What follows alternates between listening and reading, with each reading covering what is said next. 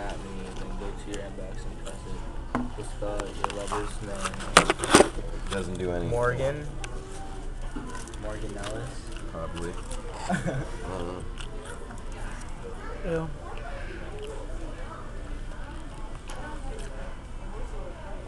The fuck? are- Ew, dude, it splashed me. Better look that up. Mm.